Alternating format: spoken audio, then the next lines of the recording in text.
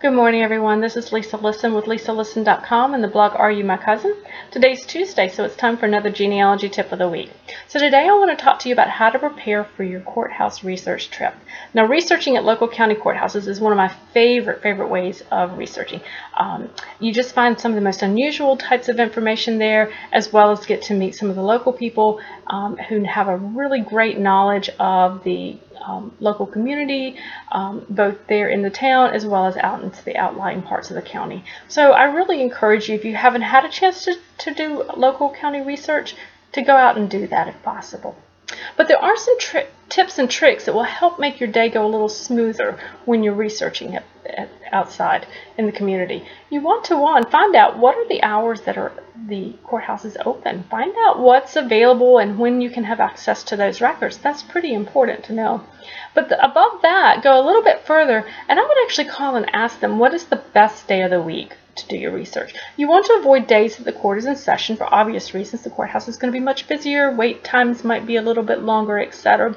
But what I found out in one case, in the case of Halifax County Courthouse in Halifax County, Virginia, is that on Thursday and Fridays, they have a man there who is dedicated to helping genealogists with their research.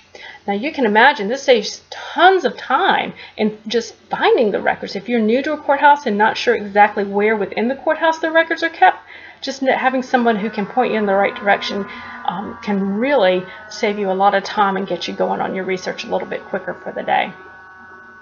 The other thing you want to find out is if there are any fees involved and if you're allowed to take digital photographs or a digital scan, one of the portable scanners. Some courthouses still do not allow that and are only allowing copies to be made by the county courthouse staff. So that's just something to kind of know a little bit ahead of time and to kind of plan for if, if needed.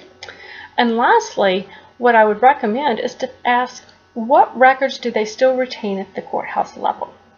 Again, using Halifax County Courthouse as an example, they've retained all the records for the county since the county formed back in the 1700s.